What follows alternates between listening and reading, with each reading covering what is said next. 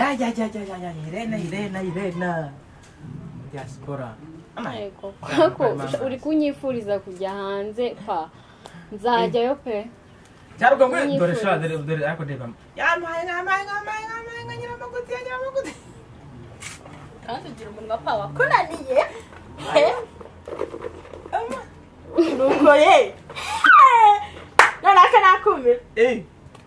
Pa iki ni kibaba ire nari bukumbuye nta mutima mubi nshuti umva se bibiri na makumyabiri na kabiri na kabiri yesu mana yanjye umukubita asubire mu mana umva ngo kamumura ari guhumuraho amafaranga we yego oya umva ngayicara amakuru se abujubujubujubuju umeze ute meze neza ariko nawe ni ubuzi upanga sarari mwumvuye muhoza pa rimwe na ntabwo kabiri diaspora wabyumva wuzuye amafaranga. Eh ayi naza. Amafaranga. Nanjye nahoze mbivuga. Waramunteje. Bagasize ndavugana nawe biki? Amafaranga ire urayafite. Mm. ahubwo bari gusa. kunyifuriza kuyabona. Nawe utabeshye. Ndaba namuhoza araje ahise abibona. Oya. ibyo bintu ire. Muho nagira ngo nkumenyeshe ko buretse oya nkubwire buretse mbanze Banza mbwire amafaranga. kambanze mubwire. Mm. nagira ngo umenyeshe ko nabaga mu mutara. Mu mutara waza uri kunuka ibintu biriya biboro by'inka. Biriya biboro by'inka. Ntabwo waza uri kunuka guhumura amafaranga. kandi ni nahoze mbivuga nahoze ni amafaranga ahubwo avuga ngo ntabwo urajya kuyavunjisha ngo ayaduhewe paka mwa- mwavuganiye ku ruhande Eh. akubwira ibye. None kuko nawe naje kuko nawe naje ambwira ngo mvuye ngo ngo ngo hanze ngo ibiki n'ibiki n'ibiki n'ibiki Kwe, rebera kabiri asigaye afite mani ntabwo gitari cy'amahanga uzi ko umuntu azajya agenda akamara igihe ahantu mukagira ngo aba hanze Mm. none umva sha uwo si njyewe uriya muntu asinaga amako mafaranga uzanyure kubwo bugugu ahubwo mbwira amakuru yawe. Oya, Paka- mo- mo- okay. oya Wanze- pa njye wa- mfite ibintu byinshi byo kubaza nyine- nyine muhoza. mu- muhoza nyine witonde noneho tuze kureba ahantu uri buducikire amafaranga turi muri ino musakano nta kintu kiri kuri telefone ubwo ni yonyine amadolari ahubwo arimo muri kunyifuriza kuyabona imana iyampe dore umuntu wabaga mu mutara sha ni ukuri imana iyampe inshyushyu rero. Amata ahubwo. Eh, yo mu mu bwa madolari. yo mu bwango mbaha amata amavuta y'inka. Eh. ibyo ngibyo. none abaga Ariko amafaranga Okay, yo ntayo. sawa uvuze ko yabaga mu mutara wabaga mu mutara mu kahe gace? Eh. nabaga ahantu bita tabagwe. Ku kazi koreho abantu Banditse. Ajya- ajya- ajya- ajya hehe? Ni iwabo wa yago nyine yabyumvishe muri ya ndirimbo ya garirimba ahubwo uzaze tujyane urebe hari utuntu kumutabagura oya ni izina ryitwa tuzajyanayo ndashaka kujyanayo muhoza Reka, reka, akahareba nawe nyine Uwa, ukagaruka ugaragara nk'aho ufite amadolari umva- we ere niyo byaba birahabi bibe bibiri cyangwa bitatu ibiraha byo kubibagurira ntabwo ari ibintu bivu- bivuze ngo ni ukuva ngo akopa nawe rero hanze usaba nabi. Urimo urasabira ku muntu uvuye hanze.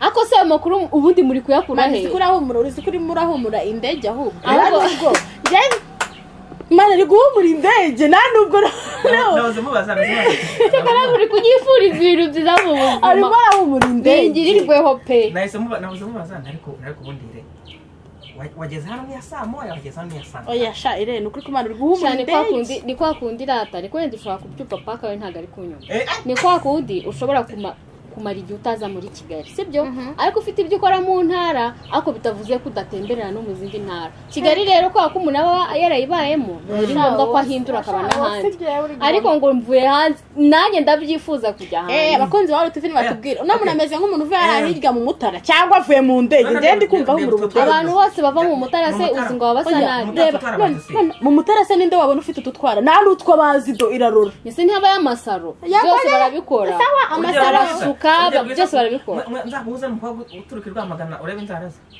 uzamuze nawe hari ikibazo se Mu- muhoza nimugereranye ehe gature reba murebe jewe muhoza ntabwo abikunda ariko kuba atabikunda ntabwo yabura amafaranga yo kubikora ni uko atabikunda Abikunda yabikora. Uduki? Kuko nabonye hari akantu k'akadiyama kandi utudiyama myaka urebe ko hari akantu gashashagirana amazi turebe ko atariho ni diyama kwa kundi bagusiga inzara bagashyiraho akadekorasiyo shayire ufite amafaranga ni ukuri nta mafaranga ntayo ni ukuri. Ahubwo muri kunyifuriza kuyabona nanjye ni byo nshaka. iyo uri kuvuga ibintu ubi- ubihakana imana ikabyumva. Cyaza parika mbanza nkubwire mbere na mbere bakoze akantu keza pe.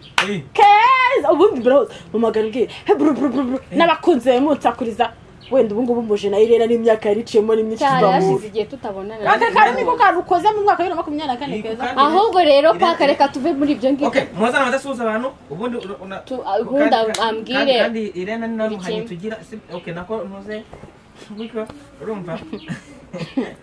Twaba ufite ibintu byinshi byo kuvuga. Byaba uw'ingenzi namusoje naba n'indi busuhuze wasuje ne? Irena Mhm.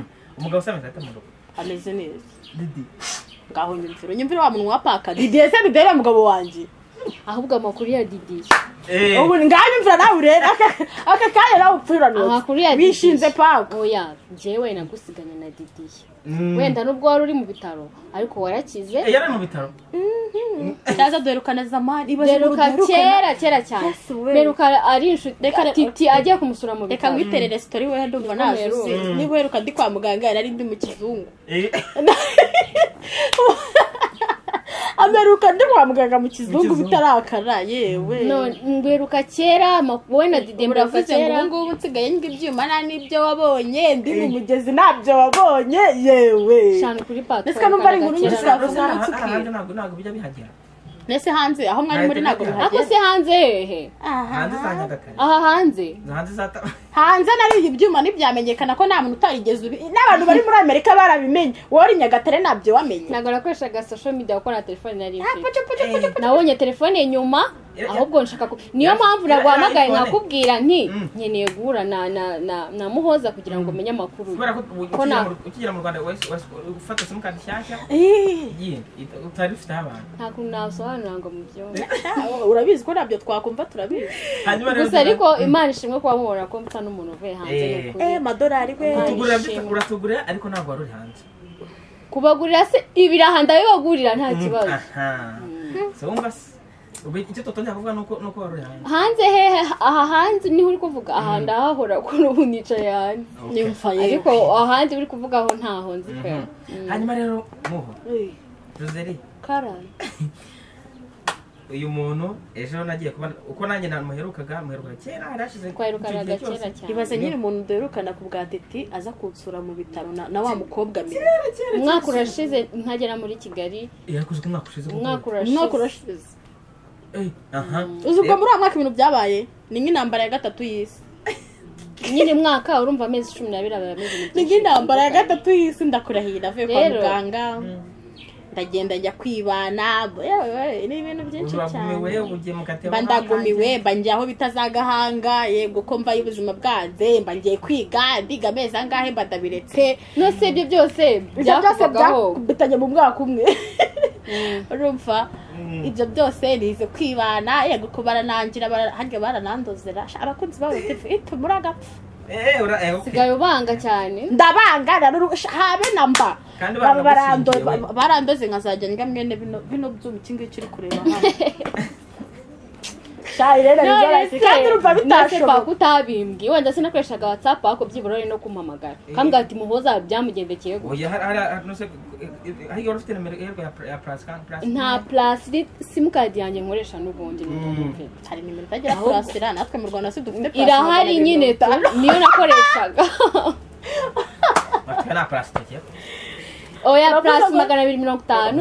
N'izindi nimero zikurikiranye. Eh, habanzaho purasi ijyaho kuri uyu nguyu kuri ngumana ahantu yari ari hagombaga kubanzaho purasi ariko se hehe yahaha sha wabireka kuri guhumbura umwotsi w'indege ndi kubyumva ahubwo mu ndege abantu barasinzira hako mu ndege buriya ntabwo habaye hejuru ntabwo habamo ni ibiki muri kumbaza ni ukuri ngewe ko ntaranarenga no ku mupaka hariya gatuna cyangwa ku mupaka uriya wo mu mutara ko ntaraharenga ntabwo urajya ku mucanga wanuze wa Miami? Mayami he. Numva ko nakwijijisha sha narabivuze nabi mvuze Miami afite Mi- wavuze miyami wavuga mayami he. Ah, kabimenye di hano uraharenga mbese uje paka twa turi kuganira. Eh. ariko umbwira ukuntu ngo yabonye ngo amafoto yanjye urishe ngo kuri cya kimoto ngo mu mazi. nese niba uzi Eh, ku kiriya kibuye kimoto ku kibuye kirahaba tamutamu kirahaba Eh. Ahubwo niwo ikibazo ni wowe ngo yari azi ngo ndi hanze kubera kiriya ki- kiriya kimoto. Ahubwo amazi yasaga ate yari ariho mbwira amazi yo ku kibuye ntabwo ayo mazi aba mu rwanda. Reka reka reka reka. ayo mazi mu rwanda ni ayahari leta ifoto ko ntabwo wabonye video? Yajya tuyifoto yajya tuyifoto amazi amazi kamera ishobora guhindura ikintu bitewe oya n'ibara ayo mazi ayo mazi kibuye ayo mazi ni agasa ubururu. Tamutamu ni asa ubururu. Ntabwo nzi ukuntu nabasobanurira nyine ariko ahubwo ayo mazi uzi ahantu aba. Mm. amazi asa ubururu. Abahe Eh, eh, eh, aba hehe ko numva mibagiwe we. Ndahibagiwe ariko ayo mazi ntabwo aba mu rwanda. Nubwo mutarahajya haba nimuhajya muzabona ari mu rwanda. Nyine ni mu rwanda ariko ntimurahajya ngo muharebe hariya hirya kibesi bitatu magana ane kugerayo. Nta kibazo uzabibona ni Okay, Rero basi basi basigaye. amazi asa ubururu wayabonye kugira ngo tujye tujyayo.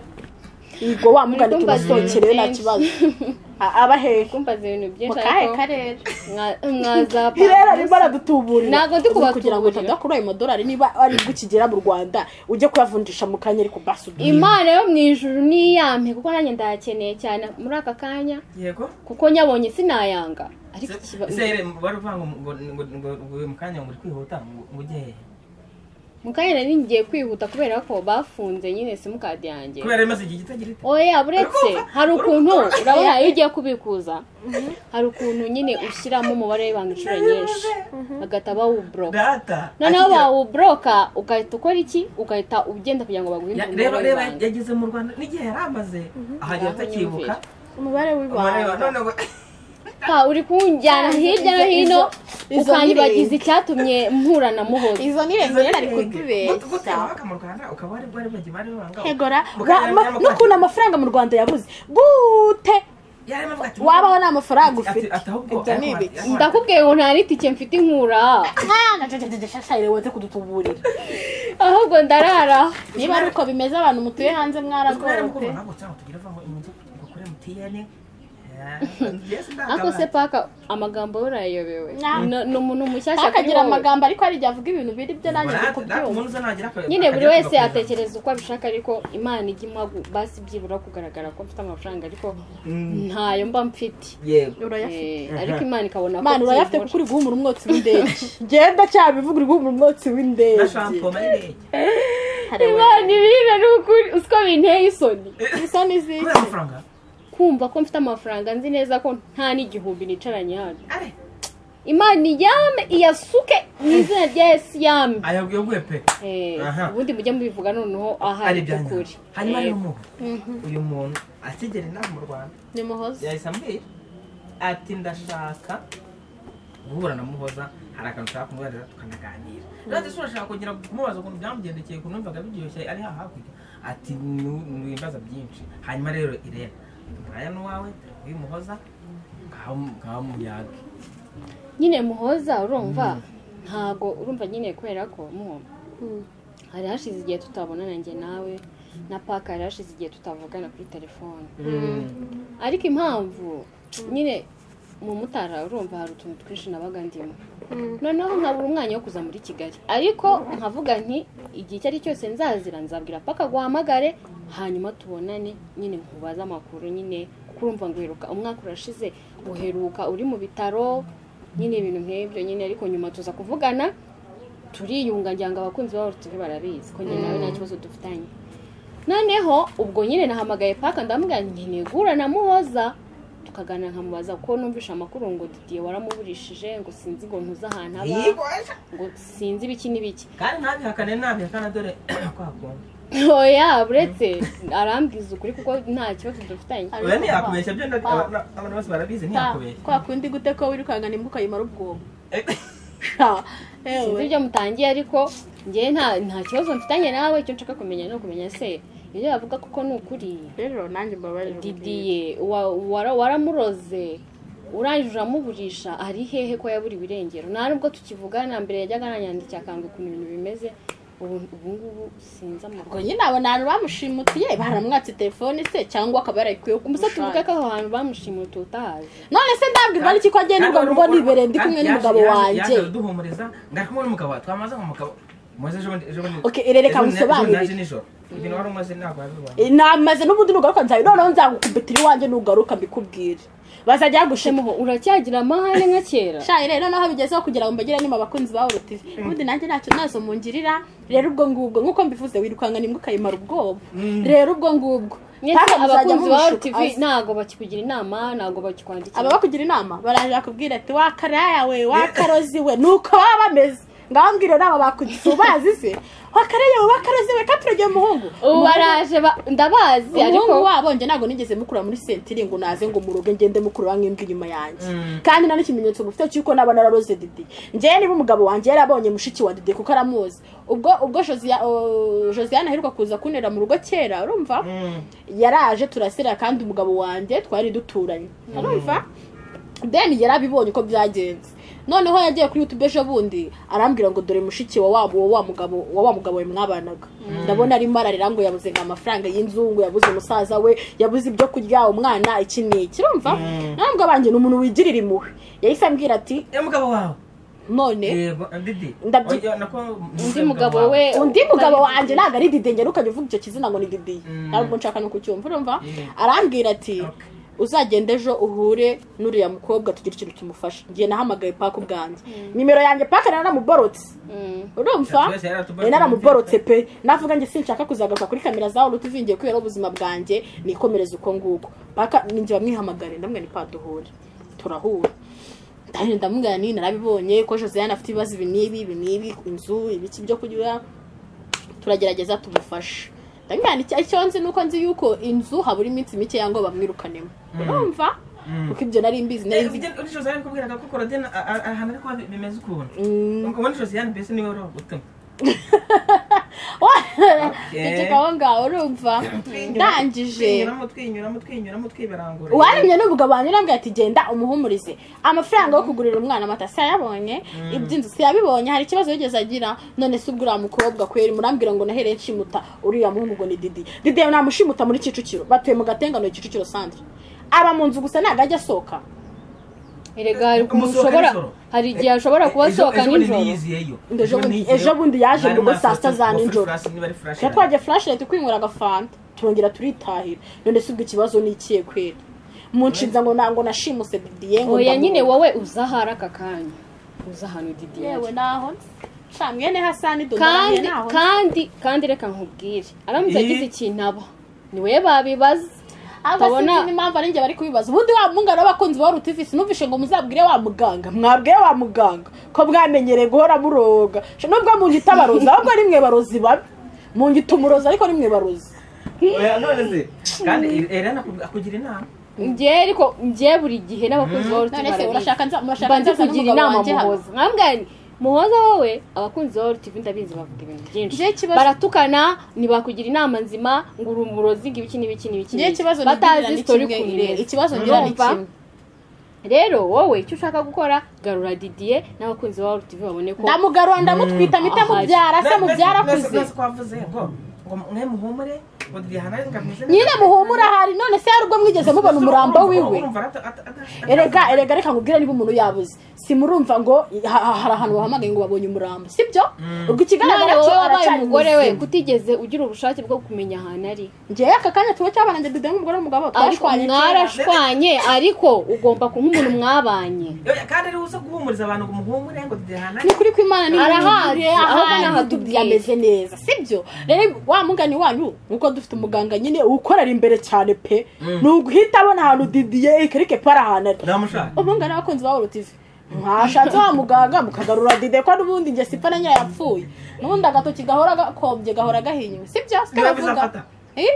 ni we Njye bizafata njye ikibazo nifite umugabo wanjye ntabwo akunda kuza kuri kamera nta nubwo aragiye n'umunsi n'umwe Eh. ubwo rero mu gihe atabikunda kuva yatora kuva yagenda ngaho nyumvira kira wambabari na utumye nza biririra ibigori byo by'abandi none ugera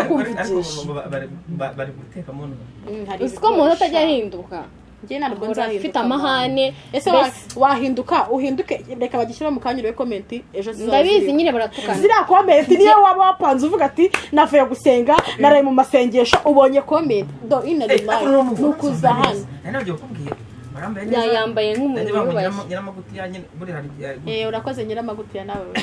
oya pa reka tubivugeho sibyo Mm. abakunzi ba tv nyine njyewe nari mbakumbuye pe. Mm. nari nabo mbakumbuye cyane. baragukumbuyeho muri uraje ukuntu bagiye kukwakira neza ariko ikintu kijimije ni uko biyongereye uko wenda uko banganaga siko bakingana ubu ngubu Mm. ariko ikindi kintu tugom- ngomba kubasaba. Ni ukuri ntibakajye batongana. Ni- cyangwa ngo batukane muri komenti ngo ngo akaraya ngo agashinze. Gira umuntu inama umubwira ati gutya na gutya bigomba wenda umugire inama ntihaburemo nk'urututsi rukakaye rumwe Eh, rwonyine Ibindi- ariko komenti umugira zose ugasanga ni ibitutsi. Komenti zose. Mu we. by'ukuri- wa murozi we. mu noneho ejo bundi iki kiza ari nijoro cyaje nijoro tumaze kugera mu rugo maze kwiyambura nikubitiramo kora n'akabisitiri konyine ndasohoka. Sinzi komenti nagiye kubona. Ngo reba ngo Comment. biriya bibere ngo wagira ngo niba ngo niba ngo byaragize bite? Ubwo nk'uwo muntu wa muntu reka ngubwire turamutse duhuye ni bwo wabibonye nako ndi shitani. Sha! Nakurya ndi mubisi do irarora. Oya mani Ibibere. jya urekana n'abantu bo kuri bo kuri bo muri komenti kuko umuntu avuga ibyo ashaka. Se bantutse ibintu bikeya. Ngo nararanutse ngo navuye ngo kwa murudi ibiki ese mutashuje mu rundi ire cyangwa umva reka nkubwire. Ndakubwiye ngo kuri TV. kuri ori tivi baravuga pe. Komenti ziruta like kwitaho. ziruta sabu ugasanga nka komenti magana atatu. Ni ukuri kw'imana do komenti ziruta noneho ugasanga Ni ibitutsi gusa. ariko reka ngiye mbanze mbihanangize mbere na mbere paka nawe uri kubyumva. Yego ngo mabihumbi utazongera guhamagara mama wanjye.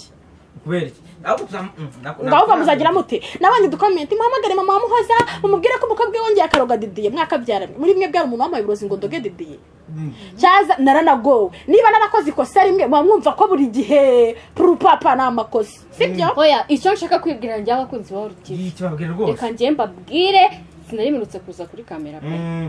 Kuko ni igiye kwinugura. Ngiye kuvuga ikindi mu mutima hanze nta wanjye. kamera zibaye Hanze- nta kamera zibaye wenda aho hanze muri kuvugana ni hariya umutara kuko ntabwo ntabwo bakunze gukoresha foto medi Eh, Mm.